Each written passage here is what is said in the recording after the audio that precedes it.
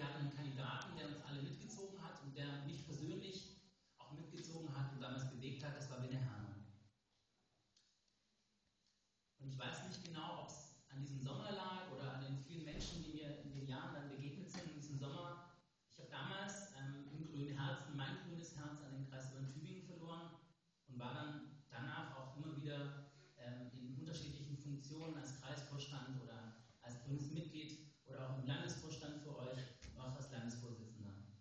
Seitdem schlägt mein Herz für den Kreisverband Tübingen und für uns Grüne hier.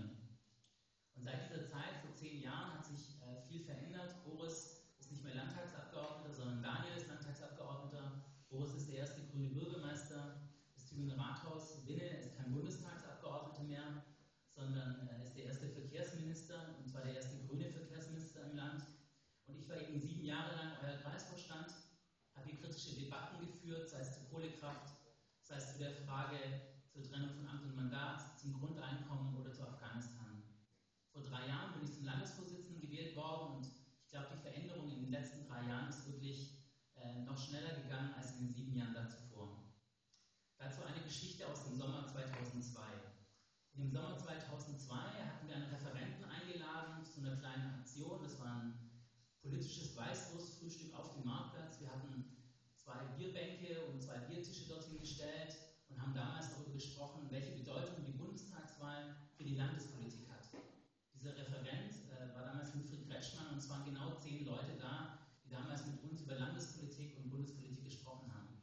Und ich glaube, wenn wir diese Veranstaltung heute, diesen Sommer, zehn Jahre später, wieder auf dem Marktplatz machen würden, bräuchten wir ein Bierzelt und der ganze Marktplatz wäre voll. So ändern sich die Zeiten. Die Zeiten ändern sich und es ist viel passiert, aber eins hat sich nicht verändert. Mein grünes Herz schlägt für euch, für den Wahlkreis Tübingen, für den Kreisverband Tübingen, für grüne Politik hier für grüne Politik nicht nur in der Stadt Tübingen, sondern auch im gesamten Wahlkreis. Ich war dort immer wieder unterwegs in den letzten Jahren. Und weil mein grünes Herz hier schlägt, will ich gerne euer Bundestagsabgeordneter sein und bitte euch deswegen heute um euer Vertrauen. Und wenn wir gemeinsam zusammenstehen, dann schaffen wir, dass wir die nötigen Stimmen hier im Wahlkreis zusammensammeln, denn es wird eine knappe Wahl werden, dass wir Schwarz-Gelb in die Opposition schicken können.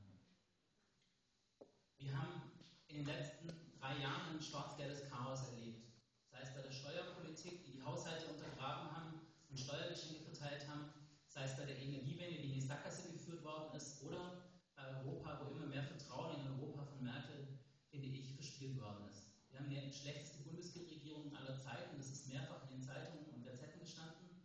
Und ein Beispiel dafür finde ich die aktuelle Debatte über das Meldegesetz. Wo gibt es denn sowas, dass eine Bundesregierung ein Gesetz auf den Weg bringt und sich danach, kurze Zeit später, selbst davon distanziert alle zeigen mit dem Finger aufeinander, ob CSU, FDP oder CDU, keiner will es gewesen sein. Nach dem Motto, haltet den Dieb, aber ich war es nicht. Und wenn man ganz ehrlich ist, zeigt es doch den Kern dieser Bundesregierung. Nämlich, dass diese Bundesregierung immer wieder vor Lobbys einknickt. Diesmal war es die Lobby der Werbewirtschaft, wo ein Gratisgeschenk auf Kosten des Datenschutzes und aller Bürgerinnen und Bürger gemacht worden ist. Und ich finde, diese Lobbypolitik in Berlin muss endlich enden und diese schwarz-gelbe Regierung hat es verdient, 2013 abgelöst zu werden. Merkel und Rösler gehören auf die Opposition. Und ich will, dass wir hier in Tübingen, in der Grünen Hochburg, die nötigen Stimmen zusammensammeln, dass dieser Politikwechsel gelingt, denn es wird knapp werden. Und deswegen müssen wir hier für das beste Bundestagswahlergebnis aller Zeiten kämpfen und gemeinsam einstehen.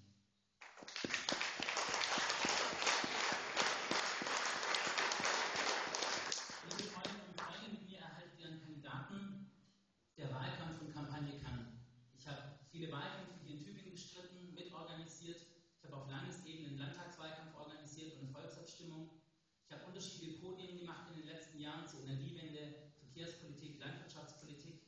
Ich habe zu vielen grünen Themen etwas zu sagen. Und liebe Freundinnen und Freunde, ich bin ein Kandidat, der sich auf einer Landesliste durchsetzen kann. Ich bin in den letzten drei Jahren durch viele Kreisverbände gekommen, kenne den Landesverband in- und auswendig. Und ich wünsche mir, wenn ihr mir heute unser mir mein Vertrauen schenkt, dass ihr dann im Dezember alle mit nach Böblingen kommt und dort laut und äh, mich lautstark in der Halle in Böblingen unterstützt, dass ich einen vorderen Listenplatz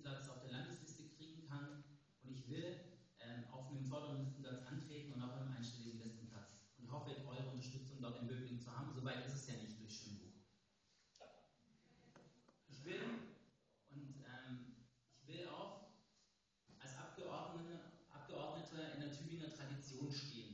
Ja, Traditionen sind immer so eine Sache, ist auch manchmal gut, wenn man es mit ihnen bricht. Die Grünen haben mit vielen Traditionen in der Politik gebrochen, aber ich will eben eine Tradition weiter fortsetzen. Ich will mich gerne zu umwelt- und verkehrspolitischen Themen im Bundestag einbringen.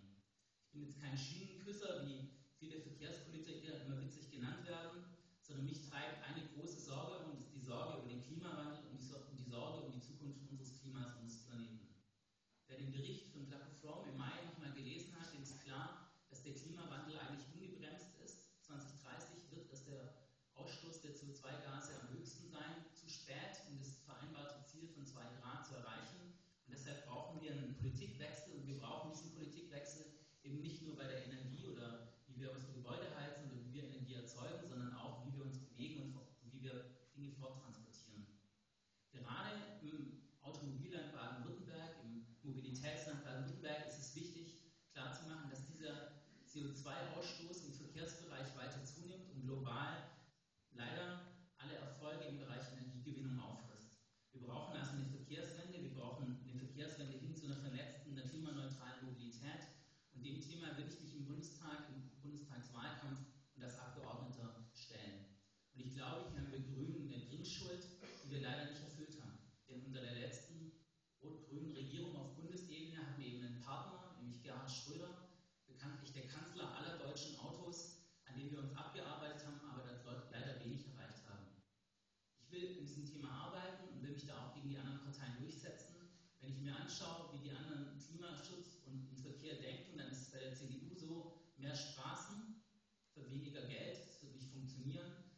SPD hat Benzin im Blut oder wie Schmiedel immer sagt, da wo der Bagger steht, geht es uns gut. Also da wo mehr Beton verbuddelt wird, passt es dann auch. Und die Linke stimmt hier sogar in Tübingen gegen die Parkraumbewirtschaftung obwohl sie damit eigentlich zeigt, dass sie nicht verstanden hat, dass es darum geht, dass Städte lebenswert sein müssen, auch ohne Autos. Ich will mich, ich will mich wie in der Vergangenheit auch an diesen Beton- und Benzinparteien abarbeiten und das will ich mit einer realistischen und einer neuen Verkehrspolitik tun. Ich glaube, Verkehrspolitik muss sich in Zukunft in einem Dreieck bewegen, ein Dreieck zwischen Klimaschutz, öffentlichen Haushalten, denn auch dort Schuldenbremse und einer leistungsfähigen Infrastruktur.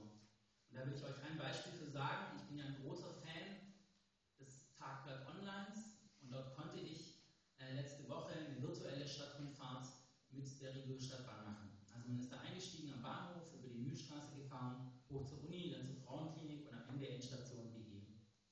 Damit diese virtuelle Stadtrundfahrt irgendwann Realität wird, braucht es aber Rahmenbedingungen auf Bundesebene. Und diese Rahmenbedingungen auf Bundesebene ist eben GVFG, also das Gemeindeverkehrsfinanzierungsgesetz, deren Mittel, die 2019 auslaufen werden. Ich will mich dafür einsetzen, dass es diese Nachfolgeregelung gibt, dass in Zukunft ganz deutschlandweit kluge Stadtbahnprojekte, kluge Regiostadtbahnprojekte entstehen können. Und dafür braucht es aber eine Finanzierung. Und äh, diese Finanzierung hat Dennis vorher völlig zu Recht angesprochen. Es geht darum, auch diese neue Verkehrsinfrastruktur zu finanzieren.